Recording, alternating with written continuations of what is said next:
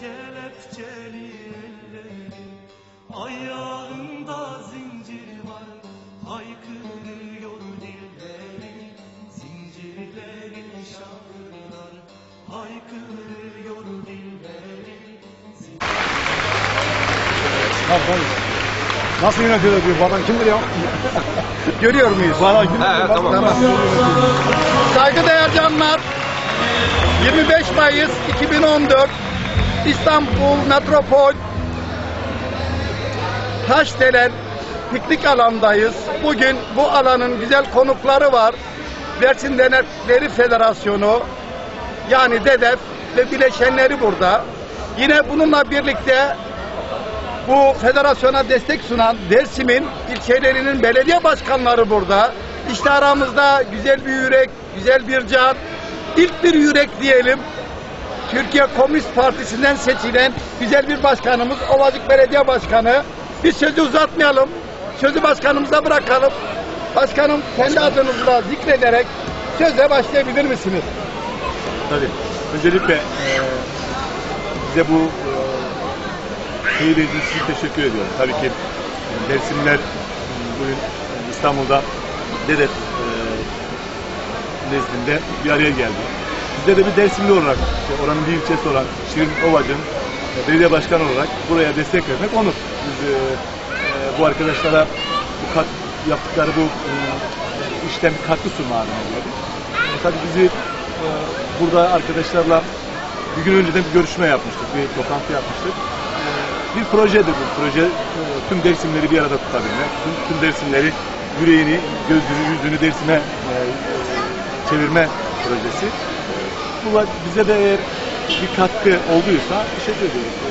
Bizim, bizim için bir görev yaparız yani. Canım şimdi Dersim'den o güzel serin suların arasından o yeşil vadiden kopup buraya gelmek ta İstanbul'a kilometrelerce binlerce kilometrelerce gelmek e, büyük bir katkıdır diyelim. E, saygıdeğer başkanım adınızı bir alabilir Adım miyiz? Fatih Mehmet Maçoğlu. Teşekkür ettik. Ovacık'tayım. 1994'lere kadar Ovacık'taydık ama köy boşaltmalarından sonra her birimiz e, işte bir yerlere savruldu. Biz de, Evet. e, biz de Elazığ, İstanbul e, ve işte başka illere savrulanlar arasındayız ama devlet memuru oluşumdan kaynaklı Dersim merkezde kaldı. Bebek'te kaldı. E, Ovaç'ta çıkardı. Ama buraya gelmek tabii ki siz dediğiniz gibi buraya gelmek her ne kadar uzak gibi görünse de yürekler bir arada olunca Gönüller yakın olunca Evet, değil mi? Evet. e, Irak yakın olur. Ya- yani. E, Başkanım e, yine tabii sizi kutluyoruz. Teşekkür 2014 yerel seçimlerde Türkiye'de bir ilki gerçekleştirdiniz. Bu bir ilki gerçekleştiren hem Dersim'in bir yürek olması hem de Dersim diyarında bu yüreğin bir güneş gibi doğması e, bizi e, bizim gibi düşünen e, dostlarımızı, canlarımızı tabii ki mutlu etmiştir. E, bu konuda ne diyorsunuz? Aldığınız tepkiler nasıl? Olumlu, olumsuz? Ne diyorlar? Şimdi Dersim bilirsiniz ezelden beri hep ilklerin şeyi. Diyarı. Mesela 1970'lerde birinci mücadelede Zeranik'te Ovaç'ta başlanmıştı. Aynı şekilde e, Türkiye Komünist Partisi e, belediye başkanı adayı da Ovaç'a çıktı. Demokrasinin beşiği olan Dersim'de bugün mevcut Burjuva partileri ya da onun iktidarları oralarda bir türlü palazlanamamayışı, o demokrasi mücadelesinin güçlü ve gerçekten de yüzlerin ona dönüşü orada aslında kendini vücutla buluyor. Bakın Ovacık'ta bugün mevcutların bu kadar yoğunlaşmasına rağmen en sonuncu parti olması, Dersim Merkez'de en sonuncu parti olması, Bozat'ta en sonuncu parti, Yalmazgirt'te böyle olması aslında Dersim'in ilkleri çok fazladır. Ve biz de o ilklerden bir parçayız. Bizi mutlu ediyor. Evet. Sevindiriyorlar. Sempati, e, mü- müthiş bir sempati var. Müthiş bir e, yüz döndü bize. Tüm dostlarımız bizimle yapmış olduğu görüşmelerde Ovacı'ya olan hayranlıklarını, Dersim'e olan hayranlıklarını bir kat daha söylediler.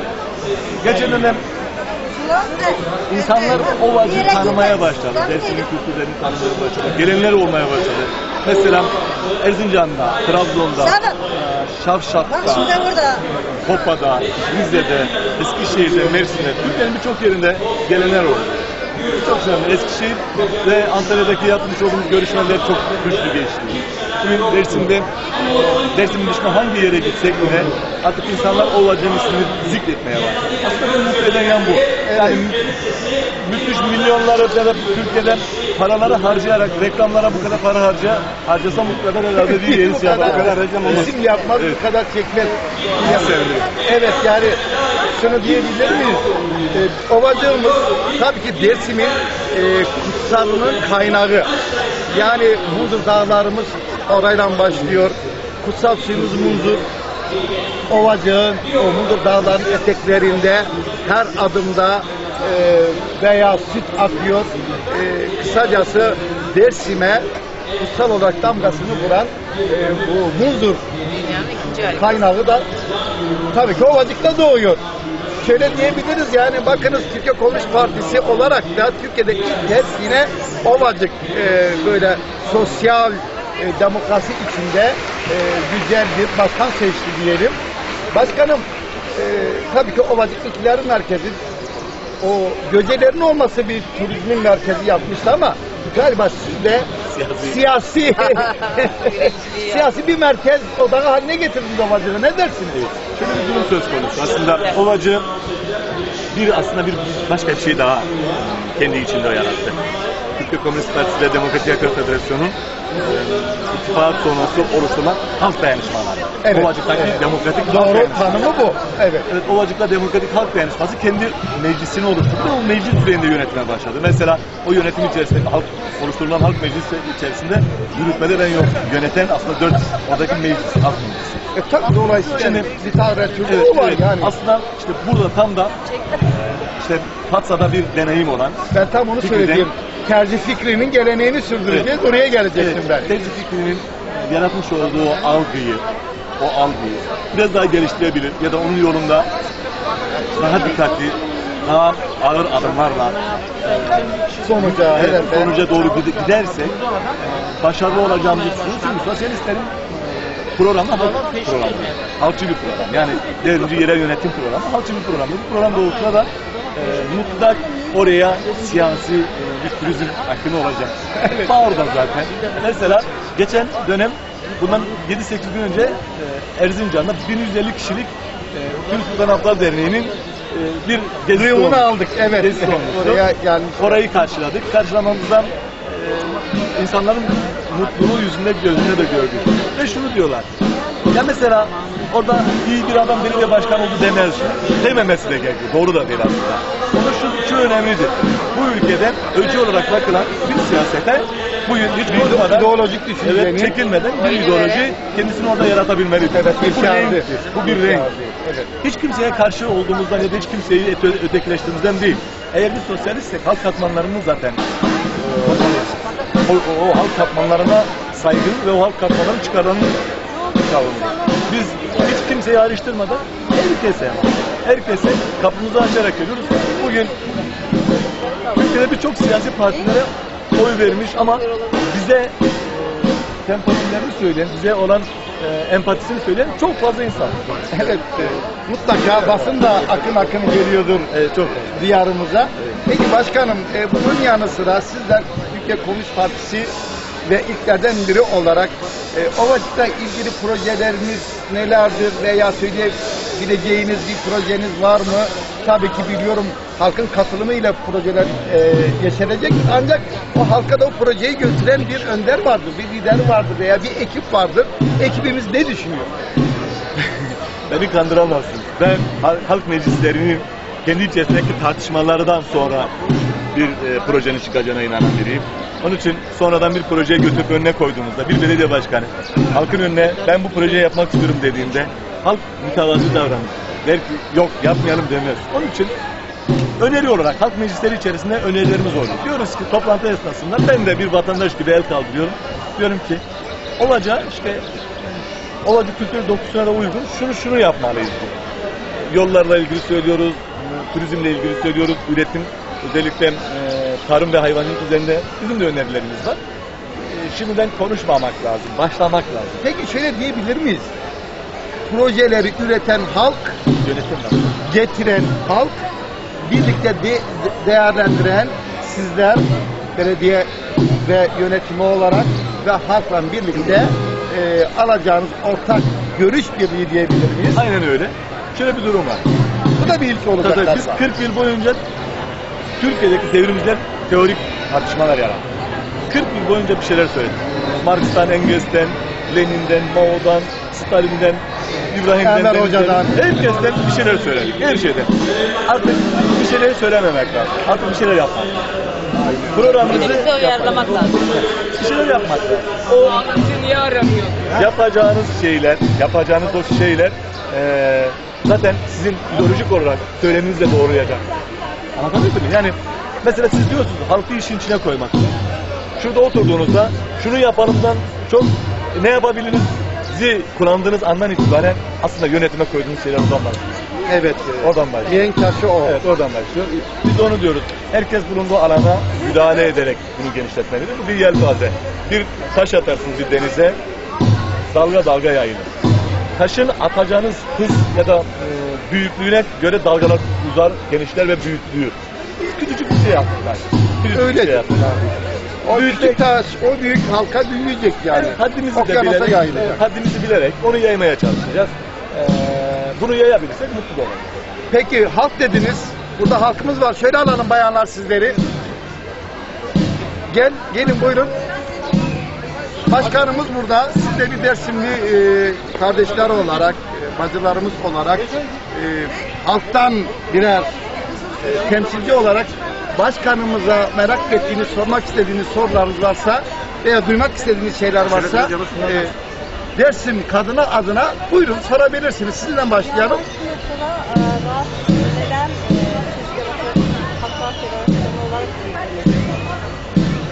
Burada TKP çok özür diliyorum. Öne çıktı. Yani buradaki TKP ile Demokratik Halklar Federasyonu'nun çakıştığı çok ortada. Rahatsızlık demeyelim, sebebi nedir diyelim. Buyurun başkanım. Yani evet. Şöyle bir durum söz konusu. Türkiye'de demokrasi kuvvetleri herkes kendisinin doğru doğruluğuna sağlıyor. Sizler bir şeyi ortaya atarsınız. Benim attığım şeylere, benim söylediğim şeylere ötekileştirirseniz birlikte iş yapamama özelliğiniz gelir. Yani o birlikte iş yapmama özelliğiniz gelir. Ben şunu söylüyorum. Aslında oradaki çalışma biçimini bilseniz aslında böyle konuşmazsınız. Mesela şöyle bir durum var. Orada o vakit demokratik halk dayanışmasıdır. Basın, şöyle düşün. Basın, Türkiye'de ilk olarak olduğundan kaynaklı bu ismi çok öne çıkarabiliyor. Ama her iki da hareketin açıklamasına baktığınızda orada ne Demokratik Halklar Federasyonu ne de Türkiye Komünist Partisi'nin siyasal çok o vakit Halkın demokratik kendi. halk dayanışması olarak geçiyor. Ama sizler uzakta olduğunuz için bunu bilmiyorsunuz. Bilmediğiniz için de böyle kaygı Teşekkür taşıyorsunuz. ettim. Kaygı, böyle Ee, kaygı siz, taşıyorsunuz. e, sizin sorunuzu alalım. Tebrik ediyorum. Eyvallah. Bundan sonraki gelecekte de başarılı olduğuna inanıyorum. Başarılı olmasa zaten buralara gelmezdi. Halkımız doğru karar verdi. Evet başka e, alabilir miyiz? Siz ne diyorsunuz başkanımdan? İsteğiniz ne, arzunuz ne? Başkanımızı tebrik ediyorum. Ee, bir ilki başardı. Bence de. Diyecek bir şey yok yani. Her şey ortada zaten. Bir ilki başardı. Sevgili bacım gel bakalım. Gel, gel, gel, Ve gel, bu gel, ilk gel. ikinci evliliğini başardı. Başkanımı Her yerine Her yerine yayılıyor. Sadece dersinde değil. Bu anlamda sadece derdim derdim. Bu bir Diğer- derdim olmalı. Diğer diğerlerde uğrayıp onlara da söyleşi yapmak lazım. Evet e, canlar ka- var mı? Babacan sen bir şey söylüyor musun? Saygıdeğer başkanım burada. Başkanımıza başkanım. Efendim başkanımızın memleketi ben de e, Dersimliyim. Eyvallah. Kendisi Dersim'in meselelerini, konu- sorunlarını çok iyi biliyor. Efendim halkıyla birlikte hep beraber mücadele edeceğine inanıyorum. Başarılı olacağına inanıyorum. Başka söyleyecek şu anda e, Buyurun başkanım. Bizde bir algı var. Ee, kusura bakmayın. Bir algı şöyle. Birilerinde bir şey beklemek aslında teyze. Teyze durum. Sizin söylemiyorum. Evet. Birilerine bir şey beklemek, ona bir şey e, arz etmektir. Tersine bir şeyler yapılacaksa birlikte yapmaya kültürünü geliştirmek lazım. Yani şunu artık bileceğiz. Artık belediye başkanları bürokrat olmayacak. Halkın o kapıda içeri girdiğinde hep beraber şunu diyebilmeliyiz. Sayın Başkan ya da başkanım ya da ismimle de söyleyebilir. Böyle bir projem var ya. Bir düşünür müyüz demelidir. Ya da siz başarılı olacaksınız değil. Biz başarılı, sizin başarılı olmanız için çaba harcayacağız. Ya da hepimiz başarılı olacağız kelimedir. Artık bizler kendimizi Yani koyarak gerçek bir dayanışmayı bizler kendimizi koyarak başlamalıyız. Aksine bizden önce biz, ve Türkiye'de mevcut bütün belediye başkanlarının yaptığını yapmak zorunda kalacağız. Türkiye'de Türkiye'de toplumun üzerine akıllı adam yoktur. Herkes akıllıdır. Birileri bir becerisi doğrultusunda harekettir. Birileri okuduğu bir mesleki doğrultusunda harekettir ama diğeri gördüğü. Evet. Ama şunu bilmek lazım. Emin olun herkes bir şey yapabilir durumda. Bu ülkede herkes bir şey yapabilir durumda. Mesela ben size bir şey söyleyeyim. Çocuk parkı ile ilgili bir öneri geldi. Bana bunu şu ev kadınına geldi. Ne dedi biliyor musun? Şu çocuk park kadını niye bu kadar e, demirle, betonla, e, plastikle donatıyorsunuz? Şuraya koyun dedi çamur. Çocuklar çamurda oynasın. Evet. Hadi hangi birinizin aklına geldi? Orada o çocuk... Bundan oynatın. Ve-. Devamı neydi biliyor musun?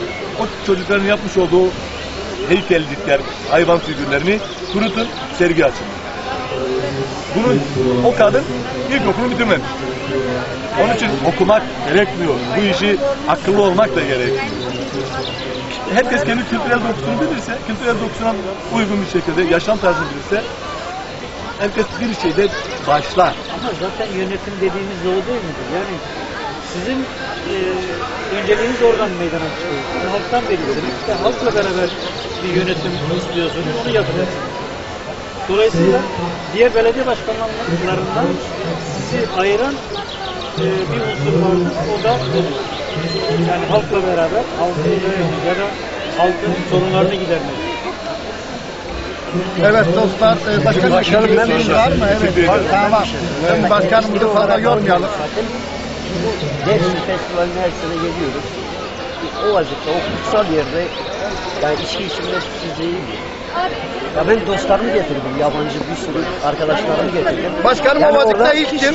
kişiye E, özel buna Hayır yani Kişinin kendisine bağlı bir şeydir. Yani o Bence iyi değildir yani ama o dışarıda bence gelen iyi dostlarımız da Bence dostları yani şey Oradaki karşılar. insanların zevkini ve bir şeyini şey söyleyeyim mi size? tartışamazsınız ki. Yok yok şöyle bir şey söyleyeyim. Bak kurban kesin. Bir dakika. Başkanım Soru sordunuz bana. Ben size cevap vereyim. Bence iyi değildir ama bence iyi görülmeyen her şey de doğru değil. Onun için bir insan ben yapmak istiyorum diyorsa yapamazsınız derseniz onu, onu baskılamış olursunuz. Ama bir şeyler yaparsınız. O toplumun kültürünü, dokusunu iyi işlersiniz. İnsanlarla ikna etmeye çalışırsanız. Bunu da uzaklaştırsanız çok güzel bir şey olur. Ama bir şey yapabilmek için bu iyi midir sorusu ya da bu çok kötüdür sorusunu sormamak lazım. Onun için siz ya da ben ya da abi ya da Allah ne yaptı? Buna bak. evet. Yapacağınızı halkla yapın başkanım. Baş. Siz halkla Başkanım. diyaloğu devam ettir- ettirdiğiniz sürece Eyvallah. gerçeği daha ortaya çıkaracaksınız. Halkla birlikte hep beraber onları yapın. Bir de yanınızda olmayacağız yani. Eyvallah. Evet başkanım Yalnız da ekleyecek bir zaten. şeyiniz var mı? Saygılar sunuyorum. Öyleyse Teşekkür ediyorum. şöyle kısa bir özet yapalım. Başkanım şunu diyor. Diyor ki artık projeleri ben ve ekibim değil veya e, teknokratlar değil halk, halkımız projelerini üretsin, bize getirsin. Birlikte de değerlendireceğiz. Birlikte karar vereceğiz. Birlikte o taşın altına elimizi koyacağız ve birlikte yaşama geçireceğiz. Ve bu da galiba belediyecilik anlayışında ilk olacak. Başkanım sizi kutluyoruz. Size yaşam boyu üretkenlikler diliyoruz. Her şey gönlünüzce olsun. İyi ki varsınız. İyi ki buradasınız. Size kolay gelsin. Sağ olun. Hoşçakalın. Evet saygıdeğer dostlar. Biz 25 Ma- Mayıs 2014 İstanbul metropolünde Sarıgazi, Taşdelen civarında e, bu söyleşiyi saygıdeğer e, Ovacık Belediye Başkanı, KKP'den Belediye Başkanı e, Sayın e, Mehmet Bey'le bu söyleşiyi yaptık. Halkımın sorularını sorduk, merak ettiklerini öğrendi ve biz de bunu değerlendirmesini size bırakıyoruz. Hoşça kalın, hoşça kalın diyoruz.